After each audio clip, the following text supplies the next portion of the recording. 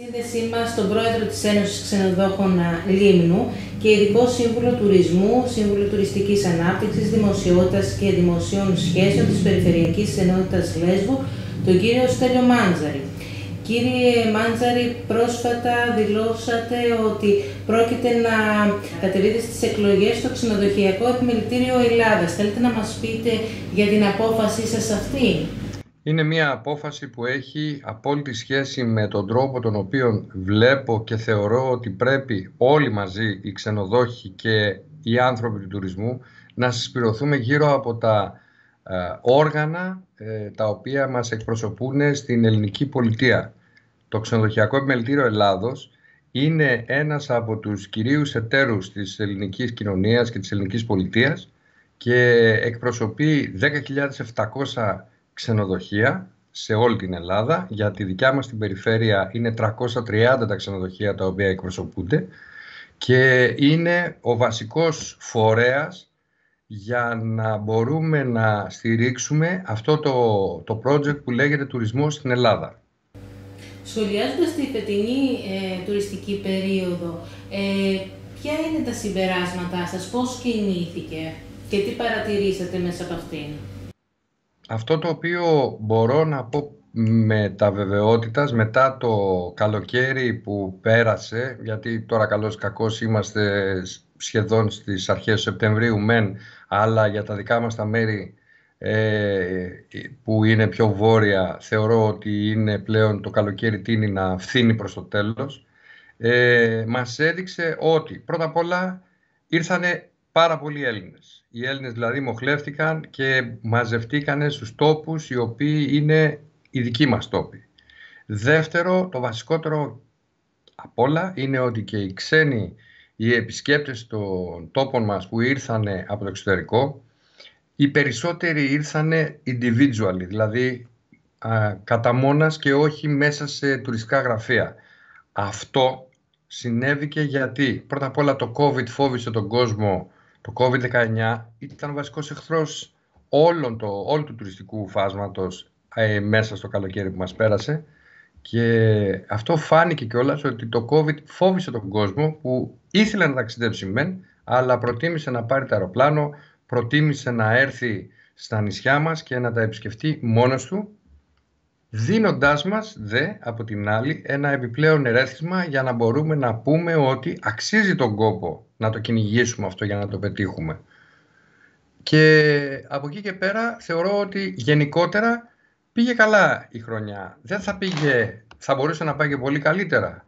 Η, όσο για τις δικές μας, τη δικιά μας την περιφερειακή ενότητα, η Λίμνος πήγε αρκετά καλά, συντήρησε το μεγάλο ποσοστό της ελληνικής αγοράς που έχει αλλά και για τη Λέσβο, έχω να πω ότι φάνηκαν πάρα πολλοί Έλληνες που ξεπεράσανε αυτό το, την ιστορία του προσφυγικού μεταναστευτικού, ήρθαν στο νησί, απολαύσανε το νησί, απολαύσαν τις ομορφιές τους και αυτό τον απίστευτο τόπο, όπως είναι η Λέσβος, και βέβαια ε, αφήσανε τα χρήματά τους. Από εδώ και πέρα είναι στο χέρι μας όλων, από κοινού, ενωμένοι, να μπορέσουμε να προχωρήσουμε αυτό το οποίο μας έδειξε η φετινή χρονιά η οποία ε, θεωρητικά και πρακτικά ήταν σίγουρα καλύτερη από το 20, μπορεί να ήταν λίγο χειρότερη από το 19, αλλά αν εκτιμήσουμε ότι είμαστε ακόμα μέσα στη μέση της πανδημίας, ήταν πολύ μεγάλη ε, η, έτσι, η ένεση ρευστότητας που μπήκανε στα μαγαζιά τα δικά μας. Ποιες είναι οι στρατηγικές που θεωρείτε ότι πρέπει να υιοθετήσει η περιφέρεια Βορειοαιγαίου όσον αφορά το τουριστικό κομμάτι και σε ποια θέματα ε, παρουσιάζονται προβλήματα σύμφωνα με τις εκτιμήσεις σας; Η περιφέρεια, καταρχήν θα πω κάτι για να μην θεωρηθώ ότι ε, τα βλέπω περίεργα, μονόπλευρα ή με έναν τρόπο ο οποίος ίσως να μην αρέσει τον πολύ τον κόσμο. Ο τουρισμός είναι ένα φαινόμενο το οποίο στηρίζεται στην ιδιωτική πρωτοβουλία. Αυτό πρέπει να το καταλάβουν όλοι και πρέπει να το καταλάβουμε και εμείς. Όταν ο ιδιώτης κινείται σωστά, με σωστό τρόπο, επενδύει με τρόπο τέτοιο ώστε να το αποδίδει πίσω σωστά και δεν πηγαίνει μόνο για το μεροδούλη μεροφάι, τότε τα πράγματα όλα πηγαίνουν καλύτερα και τα αποτελέσματα που έρχονται είναι σίγουρα πολύ πιο ενθαρρυντικά για την κοινωνία ολόκληρη. Η περιφέρεια και κάθε αρχή αυτό που μπορεί να κάνει και πρέπει υποχρεούται να κάνει από, την, από το ρόλο της μέσα στην ελληνική κοινωνία είναι να στείνει τις υποδομές που όμως εμείς οι ίδιοι σαν άνθρωποι της κοινωνίας μας αυτής είναι, είμαστε εμείς που θα τα δώσουμε στην αγορά και θα τα δείξουμε και θα πούμε τι ακριβώς, πού ακριβώς στοχεύουμε σε κάθε τόπο ξεχωριστά. Δηλαδή, υποδομές όπως πώς θα έρθει ο κόσμος πιο εύκολα. Προσβασιμότητα δηλαδή. Είναι απαραίτητο, είναι το νούμερο ένα, γιατί αν δεν έχεις, αυτό έδειξε φέτος η, η ιστορία με τις αεροπορικές πτήσεις, ε, αυτό έδειξαν τα καράβια ότι ο κόσμος ερχόταν και έψαχνε να βρει τρόπο για να έρθει, να φύγει. Αυτό όλο η προσβασιμότητα είναι το νούμερο ένα.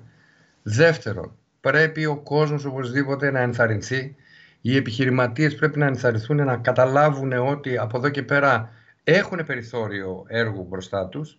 Και τρίτο και βασικό είναι το πώς ακριβώς εμείς αποφασίζουμε, εμείς εννοώ εμείς σαν συμμέτοχοι στην κοινωνία, σαν stakeholders στον τουρισμό, πώς αποφασίζουμε ότι πρέπει να δείξουμε τον τόπο μας. Ο κάθε ένας λοιπόν δεν μπορεί να πηγαίνει κατά το δοκούνι όπως το σκέφτεται ή το φαντάζεται για να μπορέσει να έρθει και με καλύτερο αποτέλεσμα.